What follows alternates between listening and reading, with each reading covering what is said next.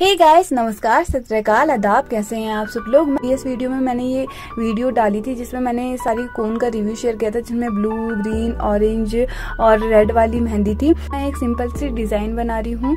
तो ये वाली डिज़ाइन मेरी फेवरेट है। मतलब अगर आप नॉर्मल मेहंदी से भी लगाओ, चाहे इसी मेहंदी से भी लगाओ तो ये इजीली जो है लग जाती है और उसके बाद लगती भी बहुत प्यारी सी है। तो पुराने ज़माने में भी ऐसे ही जो थी मेहंदी लगाते थे, बट इसमें थोड़ी सा हमने डिज़ाइन जो है ऐड कर दी है, ठीक है? तो अब इसको हम पील ऑफ़ करके देखते हैं। और साथ ही अगर आपको वीडियो पसंद आती है तो वीडियो को लाइक भी ज़रूर कर दीजिएगा।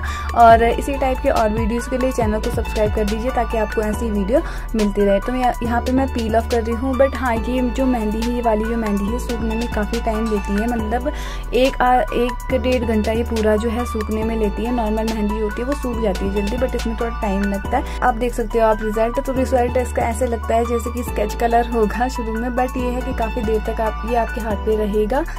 बट ये अभी मैंने हाथ अच्छे से धोया नहीं है ना बट ये बहुत ज़्यादा प्यारा लग रहा है, ऐसा लग रहा है आलता होगा। तो इसको आप यूज़ कर सकते हो। वीडियो पसंद आए तो लाइक शेयर सब्सक्राइब ज़रूर कर दीजिएगा। So thank you bye